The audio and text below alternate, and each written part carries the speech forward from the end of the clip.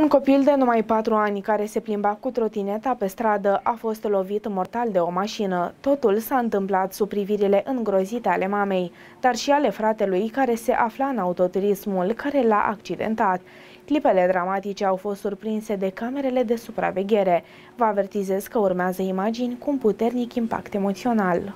Conform observatornews.ro, un copil de numai 4 ani se plimba pe trotinetă pe strada din fața casei. Într-o clipă a fost pulverat de o mașină chiar sub ochii mamei sale. Femeia expusese cu doar câteva momente înainte să vină pe trotuar. O cameră de supraveghere a surprins întreaga tragedie. În mașină era chiar fratele celui mic, iar la volan un prieten de-al său. Voiau să meargă la fotbal în localitatea vecină. Un alt puș care era în mașină recunoaște că aveau viteză. Șoferul a fugit de la locul accidentului, nu s-a oprit oprit până la sediul poliției din Buftea, acolo unde le-a spus agenților tot ce s-a întâmplat. Motivul s-a temut să nu fie luat la bătaie de apropiații victimei. La locul accidentului, copilul a fost resuscitat minute în șir, a fost stabilizat și dus la spital. Starea sa era însă mult prea gravă, a murit sub ochii medicilor și ai părinților. Șoferul a fost testat cu aparatul etilotest, iar rezultatul a fost unul negativ. A fost reținut pentru 24 de ore și cel mai probabil procurorii vor dispune arestarea preventivă pentru 30 de zile, relatează observatornews.ro